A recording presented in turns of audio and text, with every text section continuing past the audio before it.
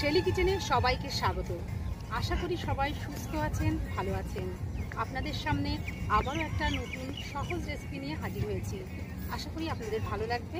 আর যদি ভালো লাগে, তাহলে চ্যানেলটিকে সাবস্ক্রাইব করে দেবেন, পাশে থাকা বেল আইকনটি প্রেস করবেন। তো রান্না শুরু করে দিই আমরা। বর্ষাকালে এই বড়াটা খেতে কিন্তু ভীষণ ভালো লাগবে, তাই বর্ষার দিনে অবশ্যই এই মেদু বড়াটি বানিয়ে খেতে পারেন। আমি এখানে এক কাপ মোটামুটি দুশো গ্রাম মতো নিয়েছি বিউলির ডাল। যে ডাল দিয়ে আমরা বড়ি দিই শীতকালে, সেই ডাল নিয়েছি।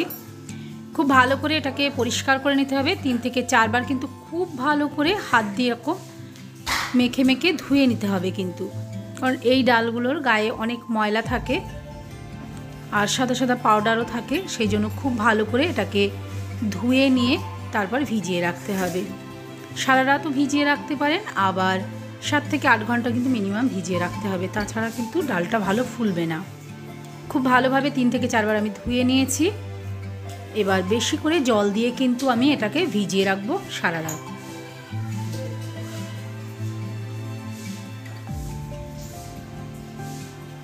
এর মধ্যে অনেক সময় মাটিও থাকে এই ডালগুলোর মধ্যে। খুব ভালো করে কিন্তু বেছে নিতে হবে। তা না হলে খাওয়ার সময় মুখে মাটি পড়লে কিন্তু একদমই ভালো লাগবে না। দেখুন, সারা রাত ভিজিয়ে রাখার পরে ডালগুলো নরম হয়ে গেছে। আর ডালগুলো দেখতে কিন্তু ফুলে গেছে বলে সাদাও দেখাচ্ছে। খুব ভালো করে জলটা ঝরিয়ে নেব। নিয়ে মিক্সিতে কিন্তু এটাকে পেস্ট করে নিতে হবে। চাইলে আপনি শিলেও বেটে নিতে পারেন, তবে মিক্সিতে বেটে নিলে কষ্টটা কম হবে। সেই জন্য আমি মিক্সিতে ভালো করে এটাকে বেটে নিয়ে নিচ্ছি। অল্প একটু জল দিয়ে পেস্ট করছি, তা না হলে কিন্তু একদম টাইট হয়ে যাবে। আর বেশি টাইট হয়ে গেলে কিন্তু ভালো পেস্ট হবে না, মিক্সি একদমই ঘোরানো যাবে না। সেই জন্য জল কিন্তু অল্প দিতে হবে, বেশি জল জল হয়ে গেলে কিন্তু এই বড়াটা বানানো যাবে না। দেখুন এই রকমই পেস্ট হবে। আর পেস্ট কিন্তু একদম ঘন, এটা কিন্তু একদম নরম বা পাতলা না কিন্তু এটা রেডি হয়ে গেছে। এবার আমি একটা মিক্সিং বোলের মধ্যে সব নামিয়ে নেব।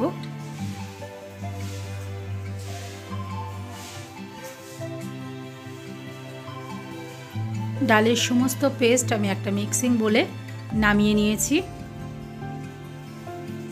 এবার এর মধ্যে বেশি কিছু মিশাবো না।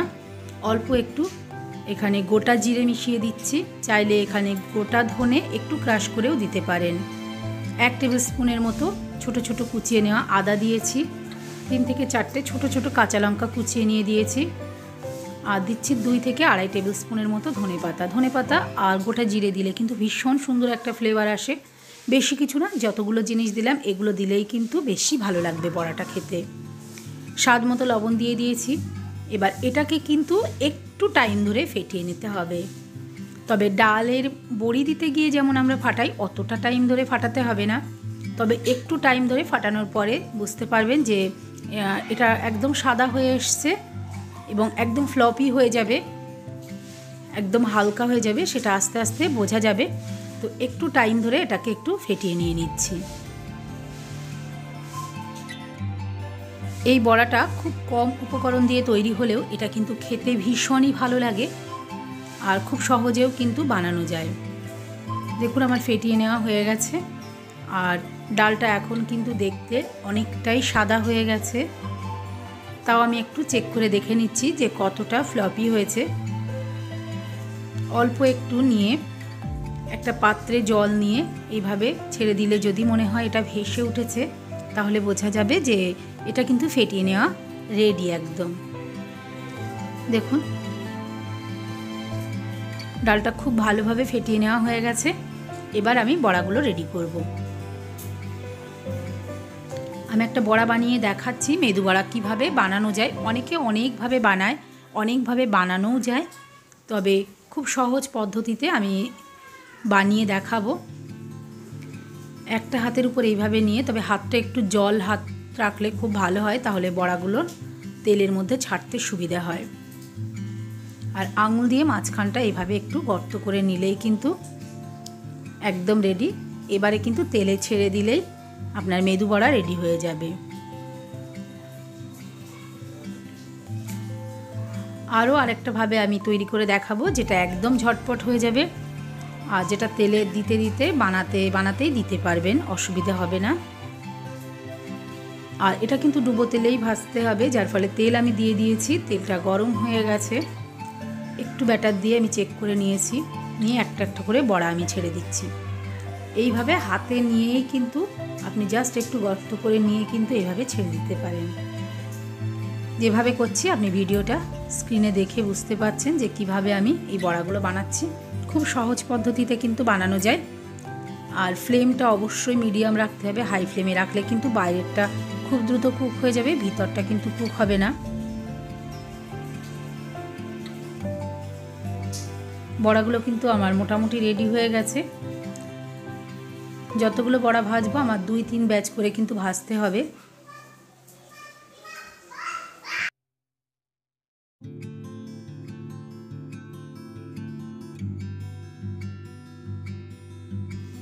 প্রথম ব্যাচের বড়া কিন্তু রেডি আমি একটা একটা করে তুলে নিয়ে নিচ্ছি। আর দেখতে কিন্তু খুবই সুন্দর হয়েছে। আর খেতে কিন্তু ভীষণই সুন্দর। আর এই বড়াটা যখন বানিয়েছিলাম যারা বাড়িতে ছিল সবাই খেয়েছে, খেয়ে কিন্তু ভীষণ প্রশংসা করেছে, সবার ভীষণ ভালো লেগেছিল। তাই রেগুলার টিফিনটা একটু অন্যরকম করে বানাতে চাইলে কিন্তু অবশ্যই এই মেদু বড়াটা বানিয়ে খেতে পারেন। এগুলো খেতে কিন্তু ভীষণ ভালো লাগে। আর বিভিন্ন রকম চাটনি আচারের সাথে কিন্তু পরিবেশন করা হয় বা সাম্বার ডালের সাথেও কিন্তু পরিবেশন করা যেতে পারে। আমি আজকে পেঁয়াজ, টমেটো আর বাদামের চাটনির সাথে পরিবেশন করেছি। তো আমি একটা একটা করে সমস্ত বড়াগুলো কড়াই থেকে তুলে নেব। সমস্ত বড়াগুলোই কিন্তু তুলে নেওয়া হয়ে গেছে, দেখুন। দেখতে কিন্তু খুবই সুন্দর আর খেতে ভীষণই টেস্টি হয়েছে।